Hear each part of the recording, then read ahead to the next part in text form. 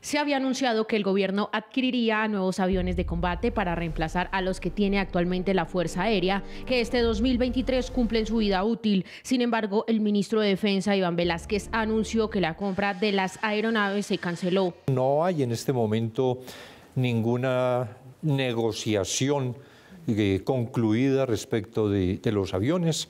Eh, vamos a, examinar el tema del COMPES y el tema ya para la vigencia de este año. Velázquez explicó que se debe definir qué pasará con el COMPES 4078 con el que se pretendía comprar las aeronaves.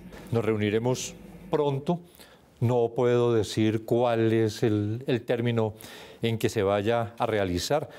No es que el 31 de diciembre de este año los CAFIR se retiren lo que he dicho es entran en estado de obsolescencia y hay un retiro gradual. Este tema generó polémica debido a que cuando Petro era senador criticó fuertemente a Iván Duque por querer renovar la flota de aviones de la Fuerza Aérea en el contexto de escasez que se vivía en el país como consecuencia de la pandemia. Fue seleccionado en primer lugar la de los aviones Rafale, también estaban los aviones Gripen que se haría entonces una prenegociación porque había que afinar condiciones que ellos planteaban en las propuestas. El presidente Gustavo Petro se pronunció diciendo que el proceso que se adelantaba por casi 650 millones de dólares y que fue firmado por el anterior gobierno perdió fuerzas.